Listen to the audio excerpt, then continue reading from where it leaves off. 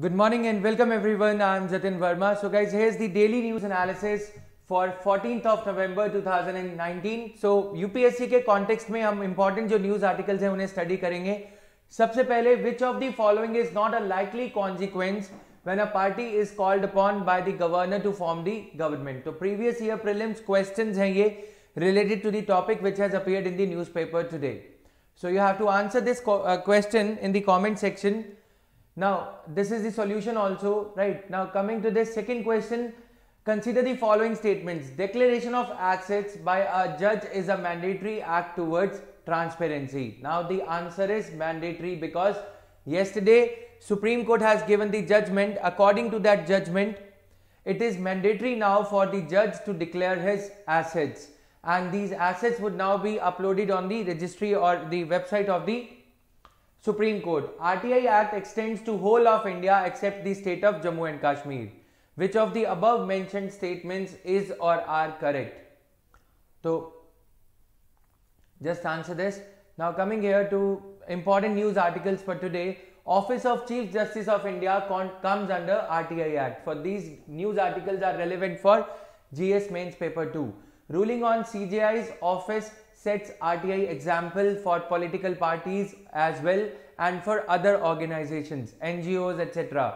Then ये news है 2017 का carry forward है Supreme Court strikes down the rules on tribunal postings. Now, collegium is a victim of its own birth pangs, says the judge. So these two, three articles are related to judiciary. Page number 12. Then this this one deals with the power of the parliament to amend the rules for governing the tribunals. So this is again related to judiciary only. Now coming here, they save the people from cyclones, but who is saving the Sundarbans? Mangroves. So we will study the mangroves briefly. This is for GS Mains paper 3, Environment and Ecology. Now starting with it, first of all the editorials. This editorial talks about the judgment of the Supreme Court on Karnataka Legislative Assembly uh, MLAs. MLAs, their, their uh, resignations, uh, the speaker had said that the resignation, that though the resignation does not overpower disqualification, the speaker's hands are tied as he cannot sit on the resignation letter indefinitely. Okay, so resignation does not overpower disqualification. So, Supreme Court has disqualified the Karnataka Legislative Assembly MLAs for not attending the session of Legislative Assembly when the floor test was to be conducted. So we will do the threadbare analysis of this article. Now this article uh, assesses India's situation with respect to Kashmir's 100 days after abrogation of Article 370. In this light, India's record and image as a democracy is currently on trial as much within the country as in the court of the world opinion. Now, this article explains the recent data on National Statistical Office reaffirms the reality of our economic slow down तो economic slow down का हम यहाँ से इस पे analysis करेंगे quickly आगे चलते हैं first of all India justice report released in September 2019 shows that Tamil Nadu judiciary improved its operational capacities more than other states between financial year 2019 and 2017. The table lists the court across the courts across 23 states on key metrics such as infrastructure, budgets, case clearance and human resources. All the data are for the period 2012 to 2013. तो Tamil Nadu top पे है अगर हम देखें indicators में cases pending पर high court तो तमिलनाडु में minus five point six cases pending पर सबॉर्डिनेट कोर्ट तो यहाँ पे minus six point one likewise सभी स्टेट्स का ये डेटा है यहाँ पे। The data the report was publish by Tata trust and this designed by how how India lives okay तो this is another NGO now supreme court upholds the disqualification of 17 Karnataka MLAs by the speaker अब supreme court ने ये कहा है कि MLAs ने जो है रेजिग्नेशन uh, किया दिया था लेकिन जब तक उनका रेजिग्नेशन स्पीकर ने एक्सेप्ट नहीं किया और तब तक उनके ऊपर पार्टी विप अप्लाई हो रहा था। Party whip was applicable on the M L As until the resignation was not accepted speaker did not accept the resignation of M L As so M L A said that they are as their resignation was pending so M L As did not attend the house even after Janata Dal secular and the other political party Congress whose M L As had resigned These political parties had issued a whip. Political party ने whip issue किया था कि आपको house attend करना पड़ेगा जब leader of the house चुने जाने की बात हो रही थी फ्लोर टेस्ट की बात हो रही थी लेकिन उसके बावजूद भी विप टेस्ट होने के बाद भी विप इशू करने के बाद भी एमएलए जो कांग्रेस के एमएलए थे जिन्होंने रिजाइन किया था, उन्होंने विप का विप को ओबे नहीं किया तो इसी के चलते उन्हें रिजाइन के बदले, पहले उनको रिजाइन नहीं करा, उनको डिसक्वालीफाई कर दिया। अब एक बड़ा क्वेश्चन ये उठता है कि अगर कोई डिसक्वालीफाइड है एमएलए एंटी डिफेक्शन लॉ के अंडर तो क्या वो एमएलए दोबारा से इलेक्शन कॉन्टेस्ट कर सकता है? Can an M who is disqualified can that MLA except can an A recontest the election can that M who is resigning can he recontest the election supreme court has said yes he can Neither under the constitution nor under the statutory scheme, Supreme Court said it is contemplated the, uh, that the disqualification under 10th schedule would operate as a bar from contesting the elections. यानी कि अगर if I am an MLA tomorrow and if I disobey the anti-defection law, if I am disqualified under anti-defection law for not obeying my political party, then also after being disqualified, I can contest the by-election to fill the vacancy that has arisen because of my resignation. Even if I am spreading instability, even if I am the indisciplined member of my political party, if I am disqualified, then also I am eligible to contest the polls. This means that if somebody in UPSC's analogy, if somebody is disqualified from UPSC, he can rewrite the exam. So disqualification under anti-defection law is because of disciplinary reasons.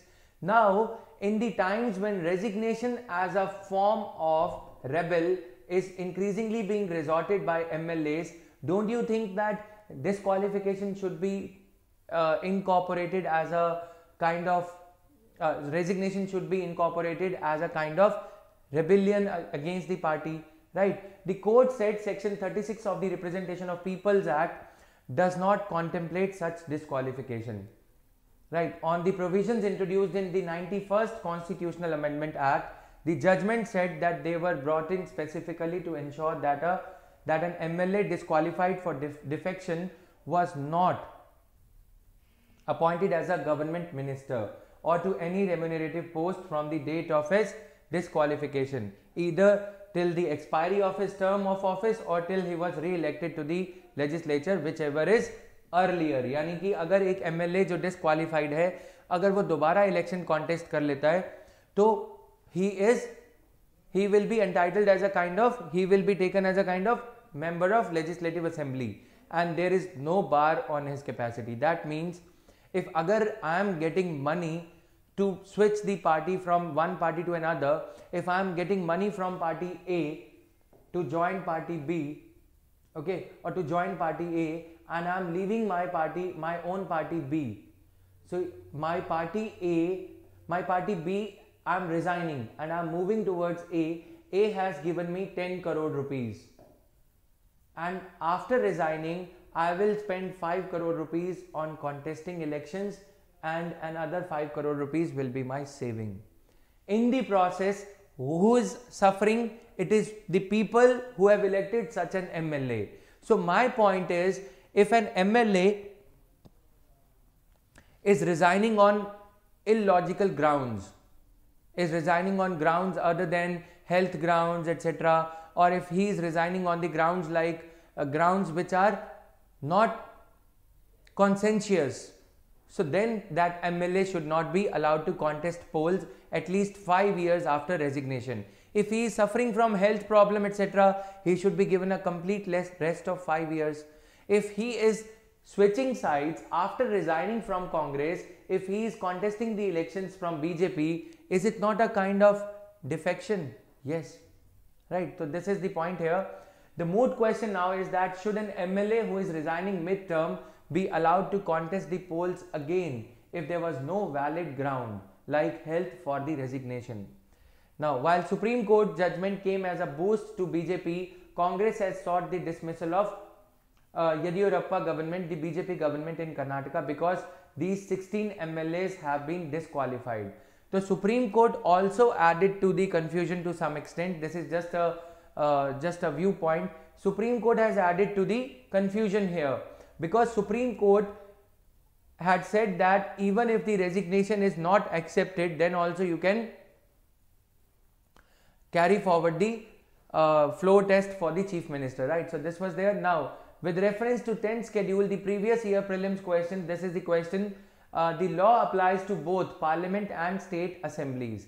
It lays down the process by which legislature may be disqualified. So please answer this question in the comment section. We are incorporating all the previous year questions at relevant places. Now it is up to you. अभी आपकी duty बनती है कि आप इन्हें attempt करें Office of Chief Justice of India comes under RTI Act. A five judge constitution bench led by CJI declared that the office of CJI is a public authority under the RTI Act. The main judgment of the constitution bench said that Supreme Court is a public authority and the office of CJI is a part of Supreme Court and that's why office of CJI also public all the public authorities are under RTI so office of CJI by the reason that Supreme Court is a public authority, the office of CJI is also a public authority. And if it is a public authority, then RTI Act 2005 is applicable to all the public authorities. So Justice Khanna, who shared his judgment with CJI Gogoi and Justice Deepak Gupta, observed that transparency and accountability should go hand in hand. Justice D.Y. Chandrachud, in his separate and concurring opinion, eloquently observed that judicial independence is not secured by secrecy of cloistered halls. Judicial independence cannot be secured by secrecy or by installing CCTV cameras. That is a kind of pseudo transparency that you are bringing about. Now, the bench, however, agreed that the right to know under RTI was not absolute. Right to know of a citizen ought to be balanced with the right of right to privacy of individual judges.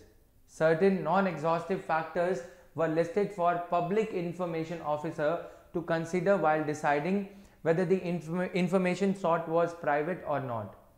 These factors include various criteria from the nature of the information sought to this impact to its impact on the private life of the judge. So question is public authority under the RTI Act 2005 constitutes any authority or body or institution of self-government established or constituted by which of the following? A. By or under the constitution, by any other law made by the parliament or state legislature, by notification issued or made by the appropriate government.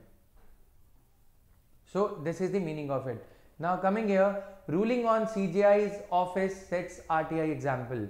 Right to information activists welcomed the Supreme Court judgment declaring the office of CJI as a public authority and said that the Supreme Court's decision would now serve as a as an example or as a precedent to help usher in the usher in more transparency especially on the part of its institutions that had hitherto been reluctant to comply with the act. The entire case stems from an RTI applicant's original RTI application seeking information on the complete correspondence between the collegium and the government on certain judicial appointments as well as he had sought the correspondence between the Madras High Court judge and the CJI regarding the allegations of corruption. Now this is a this is a good example for the political parties to follow. Political parties should allow RTI to be applied to them as well. So this judgment of Supreme Court is going to have a far reaching implications by setting an example for other bodies which resist the application of RTI to themselves. The most well known holdouts are the political parties.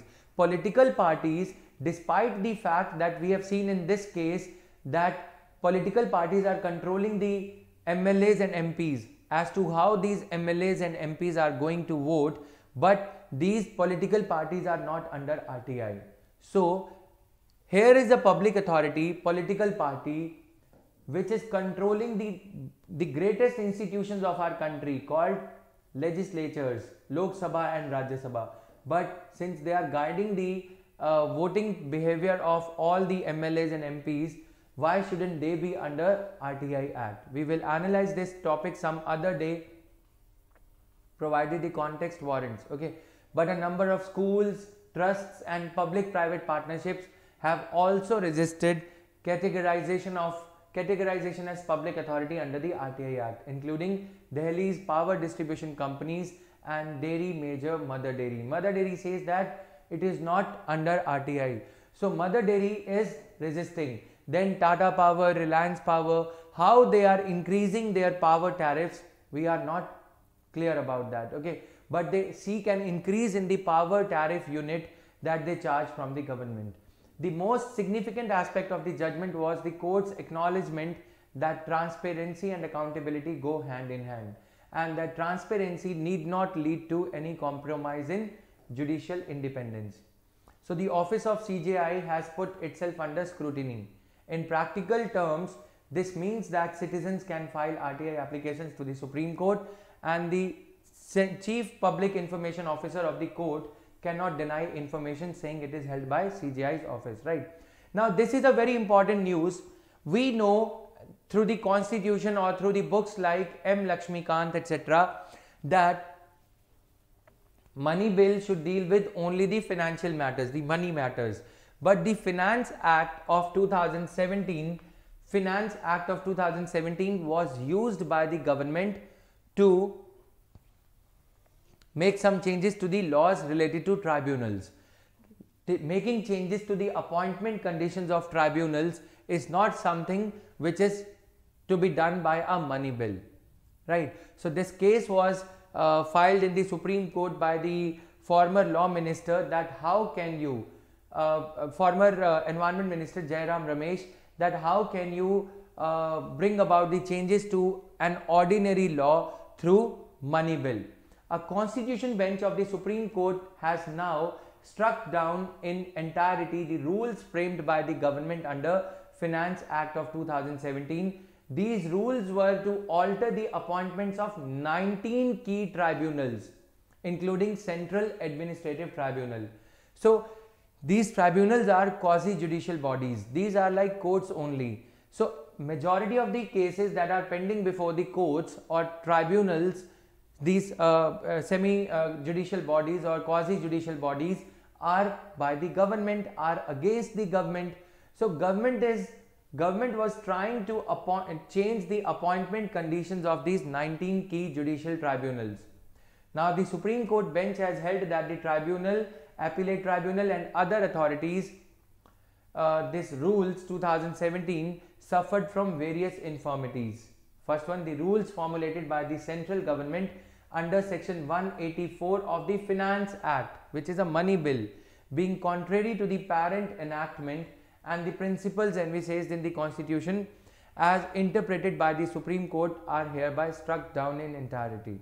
The Supreme Court uh, CJI re referred to the larger bench the issue and questions whether the 2017 Act could have been passed by passed as a money bill other question to be decided is whether the Lok Sabha speaker acted in the right by certifying it as a money bill.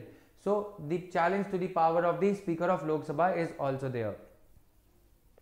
For now Supreme Court has struck it down. Okay, now coming here, one of the petitioners before the Supreme Court said that the passing of Finance Act 2017 as a money bill was deliberately done to extend executive control over these institutions, tribunals, by altering the composition of the selection committees and vastly downgrading the qualifications required to staff these bodies. Another reason for referring the money bill question to seven judge bench was the court's dissatisfaction with the way the Aadhaar judgment in K. Puttaswamy case has dealt with the issue of what could be certified as a money bill. So to your for your knowledge Aadhaar bill was also brought about as a money bill.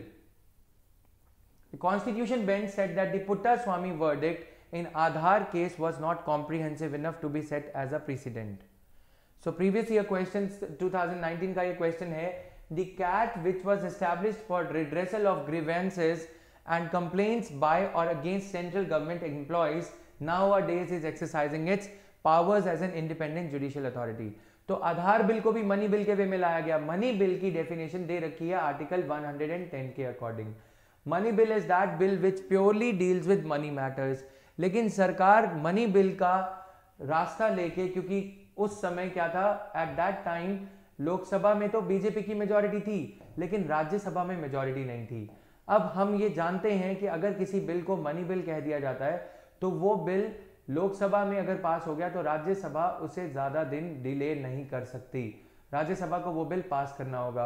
अब ये जो controversial bills हैं, इन्हें money bill के वे में लाके राज्यसभा से पास करने की कोशिश की गई थी सरकार द्वारा, और जो कि किए भी गए थे पास तो अब वो सारे लॉज जो है question under they are under the judicial scrutiny और judicial review now the all those laws are being reviewed by judiciary now now collegium is a victim of it's own birth pangs says जज collegium for appointment of जजेस हम सभी जानते हैं कि India में सी जे आई plus four senior most जजेस दे appoint dam okay they decide on the matters of transfer of जजेस अपॉइंटमेंट ऑफ़ जजेस right The observation came in the Supreme Court's judge judges separate but concurrent opinion that the office of CJI came within the ambit of RTI Act. So, इसी RTI Act वाली judgment के साथ साथ जजेस ने यह भी कहा है कि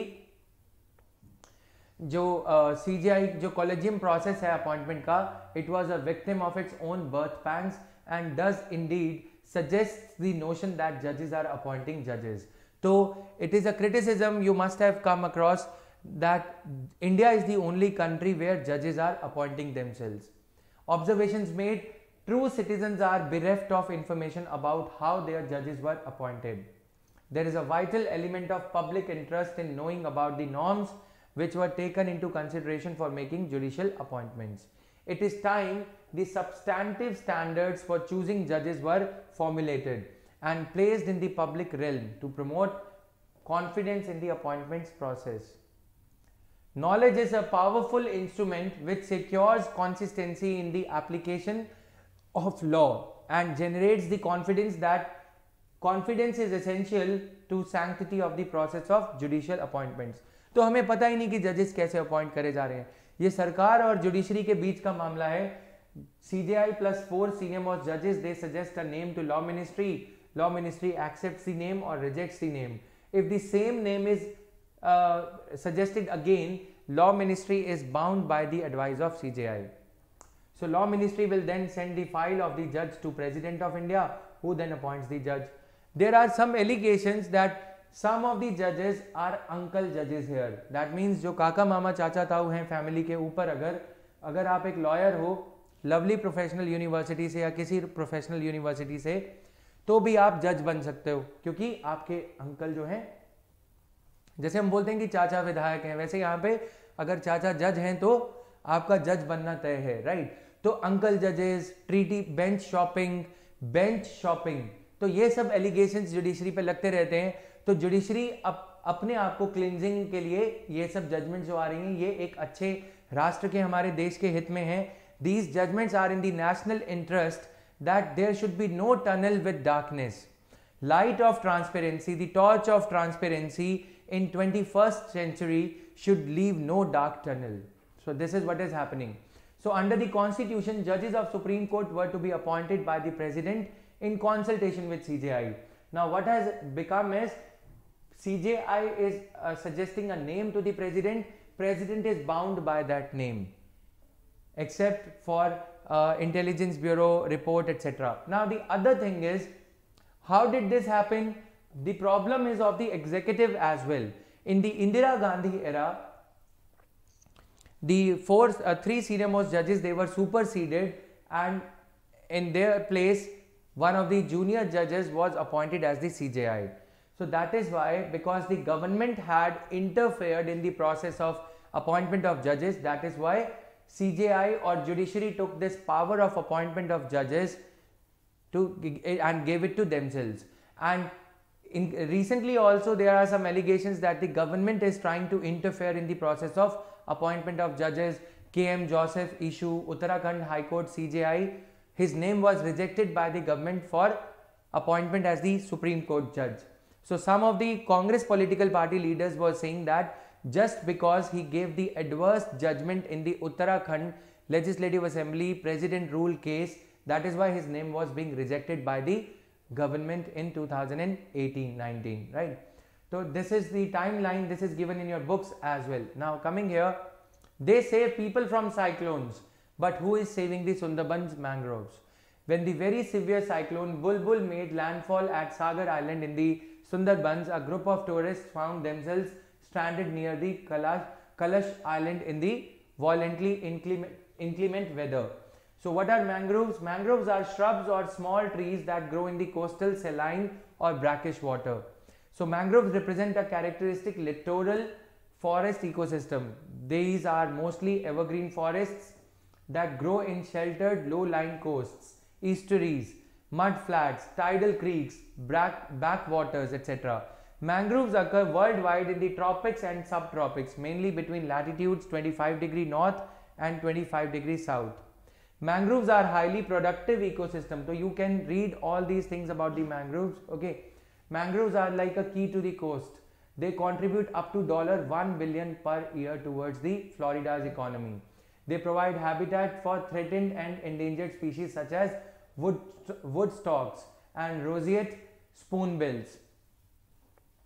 They require high solar radiation to filter saline water through their roots.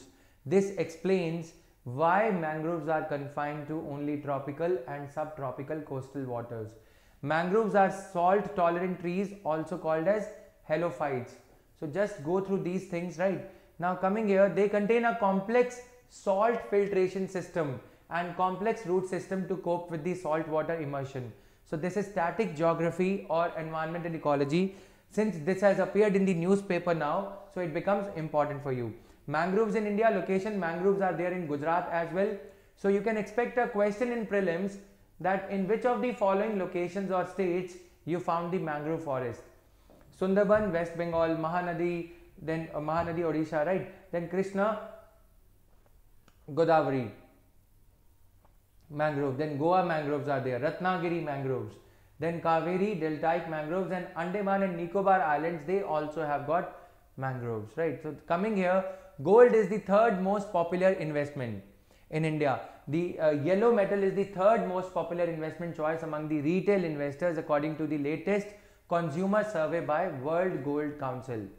Gold is the third most consistently bought investment 46% of global retail investment investors यानी कि आपके मेरे जैसे जो investors हैं those common investors like you and me they do not understand the uh, you know people do, normally do not understand share trading ulip mutual funds etc so they know that gold is something which will not fool them right so this is there now the survey covered china india north america even north america germany and russia Interestingly, 67% of the respondents in India said they were considering investment in gold and they had invested in gold in the past as well. the share of such respondents in India, share, share of such respondents in India was much higher than all other markets barring China where the share was pegged at 72%. Further, 37% of the respondents in India said they were considering buying gold though they had never bought the precious metal in the past. So this is just a factual news here. Gold scheme was brought about. So gold monetization scheme, you should know about this scheme. Uh, gold monetization scheme is now a static topic which you can read from my website as well www.jatinverma.org. So all these schemes are there. Minimum deposit 30 grams short term 1 to 3 years, medium term 5 to 7 years and long term 12 to 15 years. Interest is 2.25 to 2.5 percent to run till maturity unless depositors withdraw them. Resident Indians, mutual funds and exchange traded funds can make the deposits. Then sovereign gold bond scheme. This was brought about for a uh, period of 8 years exit option is there suppose if somebody has invested in the gold scheme they can exit they can withdraw the funds from the fifth year onwards. So there is a lock-in period of four years, four five years, right? Now minimum permissible investment limit is two grams. Interest is 2.7% paid semi-annually. Now to be sold through banks and post offices. Likewise, there is gold coin and bullion, etc. Coming here, WHO initiative to boost insulin access. World Health Organization said it has it had begun an initiative that would cut prices and dramatically increase insulin access for diabetes. Diabetes is on the rise globally and rising faster in low income countries. Too many people who need insulin encounter financial hardship in accessing it or go without it and risk their lives. The initiative involves the evaluation of insulin developed by manufacturers to ensure their quality, safety, efficacy and affordability. So facts and figures, there are currently more than 420 million 420 million diabetic patients, diabetic adults in the world, up from 180 million. 420 million people are diabetic. So insulin supply, medicine supply is sought to be improved. Now the number is 3 times more than 35 years ago. This could even increase to 629 million by 2020 2045. So today is World Diabetes Day and in India we are celebrating Children's Day as well.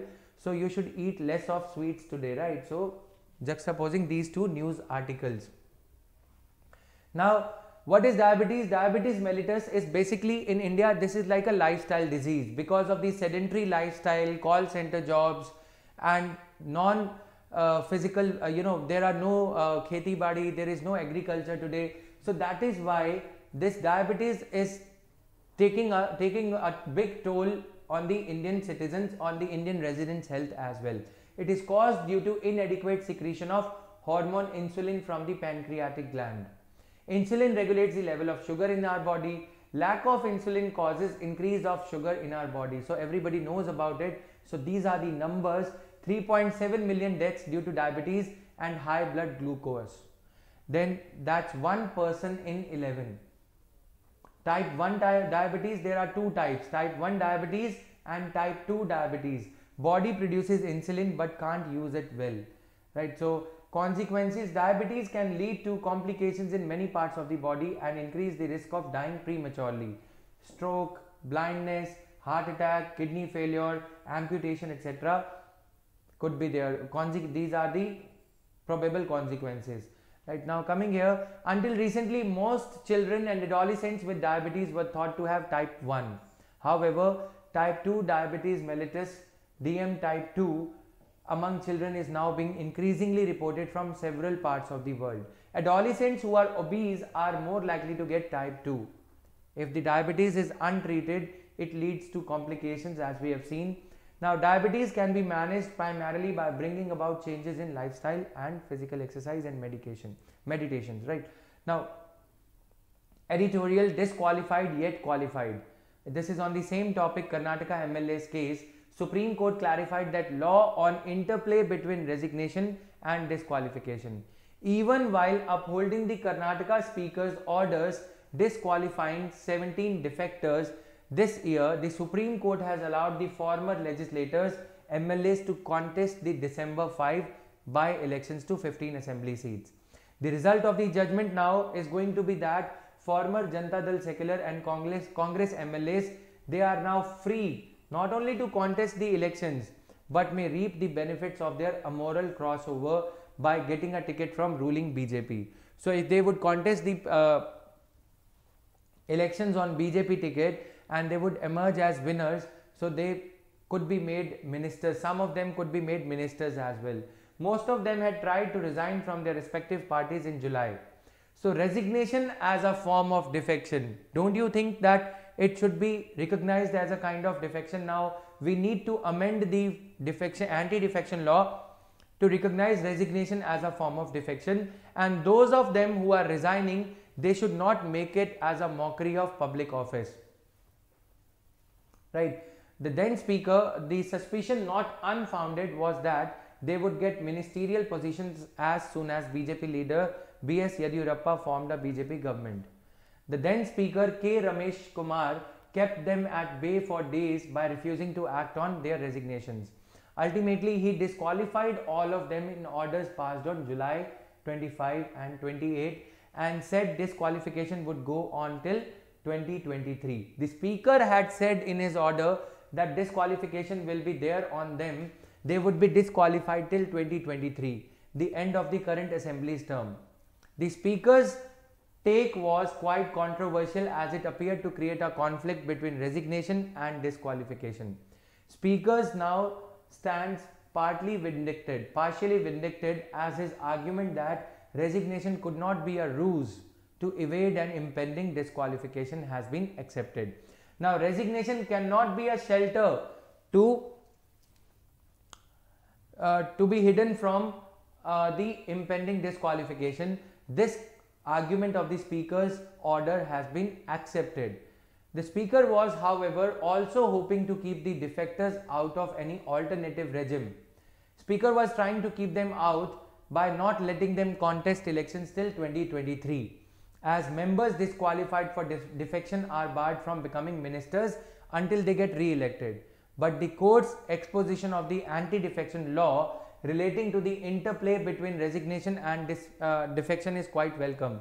On the one hand, Supreme Court said resignation does not take away the effect of a prior act.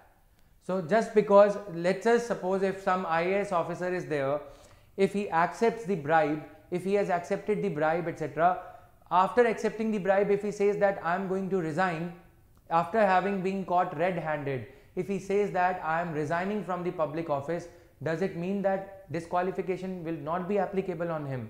Disqualification will very much be applicable on him. But on the other hand, the Supreme Court's judgment says that speakers are not given a free pass to sit on resignation letters indefinitely. However, the Supreme Court did not prescribe a time within which the speaker should decide the decide on the resignation right? Just a second guys.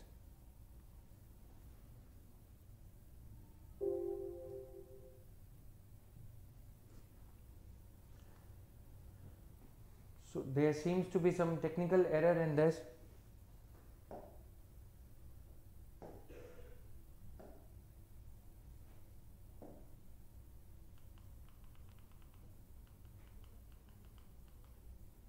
Now, in the process of this judgment, the Supreme Court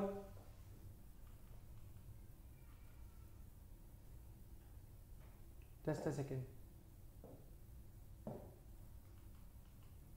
In the process of this judgment, the Supreme Court has laid down certain principles under Article 190 Clause 3, a provision under which the Speaker has to ascertain the voluntary and genuine nature of the resignation before accepting it the court is clear that it is a limited inquiry only to see if the letter is authentic and if the intent to quit is based on a free will. The speaker is only required to verify that MLAs are not resigning under any pressure. So this is like a procedural check, not a substantive check.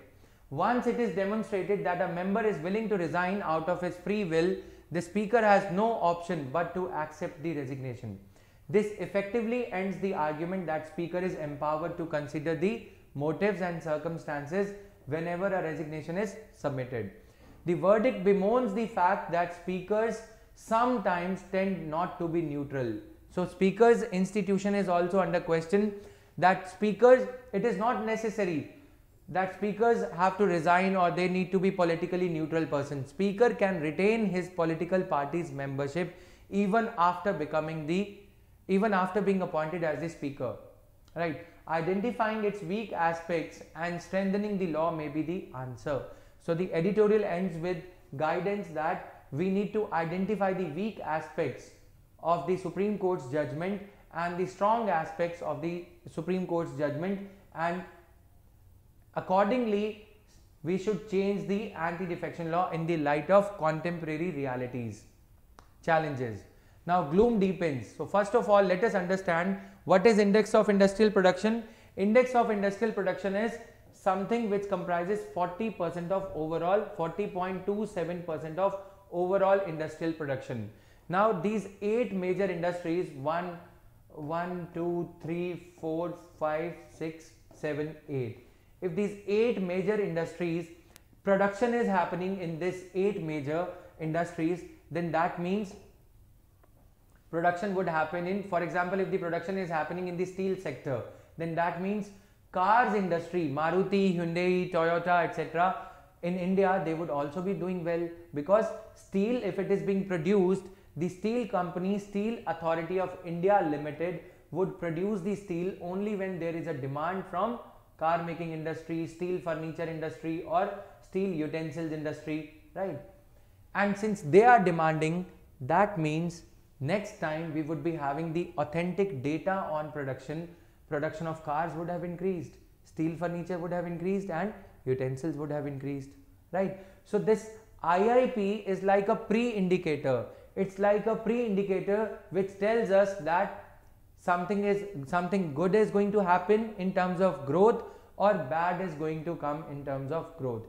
If crude oil production is happening if crude oil industries are growing that means that means that transport sector is going to perform well right or that means that uh, railway locomotives are you know working on full capacity that means something is going to bode well for transport sector airways industry etc likewise if cement industry ambuja industries ambuja cement etc they are doing well तो उसका मतलब ये है कि Ambuja cement अगर purchase किया जा रहा है तो ब्रिक्स भी परचेज करी जा रही होंगी और अगर ब्रिक्स परचेज करी जा रही हैं तो इसका मतलब ये है कि साथ साथ डेली वेज लेबर जो हैं, daily workers they are also getting employment GMR infrastructure is going to produce more houses under Pradhan Mantri Awas Yojana तो अगर ऐसे ही इन एट इंडस्ट्रीज़ के चलते हम ओवरऑल इंडस्ट्री में क्या सिनेरियो इंडिया में इकोनॉमी में क्या सिनेरियो चल रहा है, हम ये पता लगा सकते हैं। This is like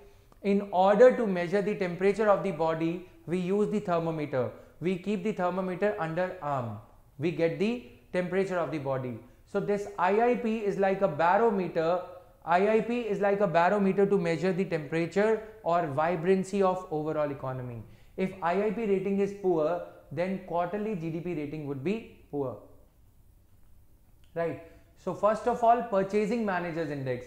Purchasing managers index tells that how much raw material is a purchasing manager in a company purchasing. If there is a textile company and textile producing company, let's say Aditya Birla Group, and if its purchasing manager or raw material manager is producing a lot of is purchasing a lot of cotton, that means he is going to produce a lot of textile.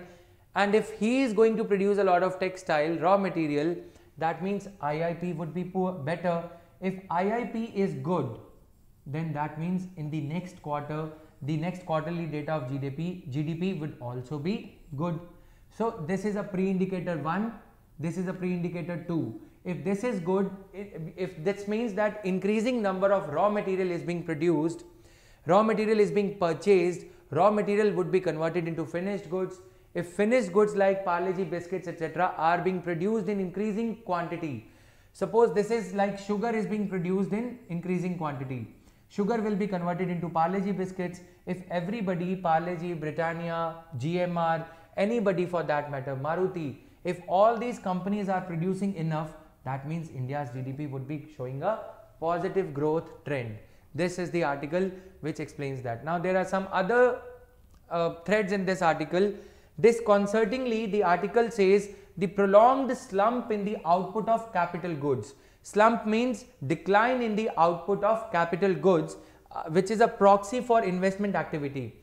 Suppose if I am a businessman, if I am not investing money into capital goods, capital goods are something which are used for manufacturing, the heavy machinery. If I am not purchasing the machinery for purchase of computers, that means I am not confident of selling the investment. But if I, I, I am purchasing the machinery to produce something like computers etc led tv tft screens etc that means i am confident of selling it. That means if i am purchasing the capital goods it's a sign of my business confidence. If my business confidence is proper then i will mm, you know increase investment. I'm, I'm leading to tatas ambanis etc they are increasing the investment. If investment is going to increase there is going to be an increase in production. And increase in production will lead to more employment more tax revenue. Suppose if i am into services sector if i am making investment into capital goods like i am purchasing more and more number of computers digital cameras etc i would need more. That means i am making a lot of investment. If i am making a lot of investment i would need people to monitor these or to work on these computers so this is the business cycle continuum so this is what this line is telling you so if there is a decline in capital goods production or purchase of capital goods if being a farmer if i am not purchasing a tractor तो इसका मतलब ये है कि मैं investment नहीं कर रहा अगर मैं इन्वेस्टमेंट या निवेश नहीं कर रहा हूँ तो इसका मतलब ये है कि मेरा आगे कोई कॉन्फिडेंस नहीं है कि मैं पैसा कमा पाऊँगा राइट तो this slump extended into ninth straight month as production contracted by about 21% for the second month in a row. So the latest index of industrial production as we had seen yesterday estimates from NSO shows that output shrank by 4.3% in September. Right? तो हमने ये दोनों diagrams देख लिए consumer durables consumer durables होते हैं जैसे कि TV air conditioners etcetera white goods white goods होती हैं जो गुड्स वाइट दिखती हैं refrigerator AC TV etcetera they are struggling to find a demand for their wares and sliding production points to an absence of traditional festival eve restocking तो production अगर कम हो रही है प्रोडक्शन कम होने का मतलब ये है कि जो रीस्टॉकिंग होनी चाहिए थी, यानी कि अगर कोई क्रोमा रिटेल स्टोर है या कोई इलेक्ट्रिकल स्टोर है इलेक्ट्रॉनिक आइटम्स का स्टोर है वो दोबारा से गुड्स नहीं परचेज कर रहा। यानी कि दिवाली के दौरान भी उन्होंने कुछ अच्छा सेल नहीं किया इसीलिए उनको रीस्टॉक करने की गुड्स को खर्चेज खरीद के परचेज करके दोबारा से स्टोर में माल भरने की ज़रूरत नहीं पड़ रही right the second successive shrinkage in infrastructure and construction goods reflects the challenge besetting the two uh, eponymous primary sectors okay? यानी कि इंफ्रास्ट्रक्चर और कंस्ट्रक्शन सेक्टर गुड्स में भी अभी खरीदारी देखने को नहीं मिल रही इन्वेस्टमेंट देखने को नहीं मिल रहा। लेकिन अभी जो सेंटर ने 25,000 करोड़ रुपीस का जो ऑल्टरनेटिव इन्वेस्टमेंट बनाने की बात कही है इससे हम ये कह सकते हैं कि स्टॉल्ड हाउसिंग प्रोजेक्ट्स जो हैं जो अधूरे प्रोजेक्ट्स हैं वो पूरे होंगे एंड इन्वेस्टमेंट के चलते कंस्ट्रक्शन सेक्टर और इंफ्रास्ट्रक्चर सेक्टर अब इसमें इंक्रीज देखने को मिल सकता है एक्टिविटी में। Right so this article was all about this only this brings us to the close of the analysis for today guys. Thank you. If you are not aware i am taking the courses on unacademy plus. The daily news analysis topic based course. In the next 6 months through this course we are going to wind up so many uh, the important topics. Around 250 to 300 topics would be covered for prelims as well as mains through this course. Then there are other courses by me indian economy course is going to start soon. Indian polity and governance course current affairs roundup 365 course. All these courses you can access through unacademy plus. You have to use the code jatin verma 71 in order to get 10% discount on your unacademy subscription. You can go for one month subscription you can go for three months or 6 months or 12 months as well. So all these courses are going to be there, there on Unacademy plus before 20th of May. All these courses would be finished. So if you are planning to streamline your UPSC CSE preparation, you can go for Unacademy plus subscription and you can access all my courses over there. So this was all guys. Thank you. Bye-bye.